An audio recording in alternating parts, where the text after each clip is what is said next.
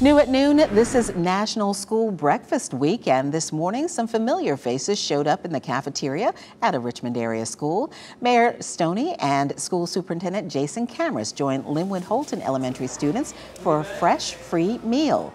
They helped hand out items including breakfast sandwiches, eggs, fruit, and yogurt, and then the two sat down to eat with students in Miss Motley's second grade class. Afterwards, Mayor Stoney presented a proclamation to cafeteria manager Gloria Kenny for her commitment to making sure every child gets a nutritious breakfast each morning. This is truly a surprise for me. And like I said, I'm truly, truly honored.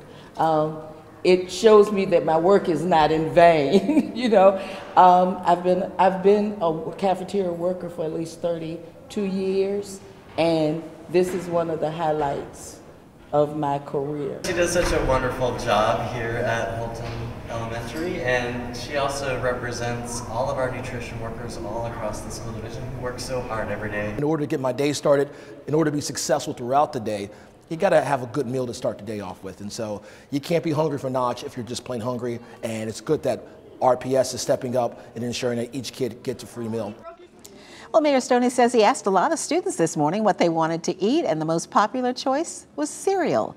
National School Breakfast Week is celebrated each year to increase student participation in the school breakfast program and to raise awareness about the importance of making sure that students are well fed and well fueled for every class day.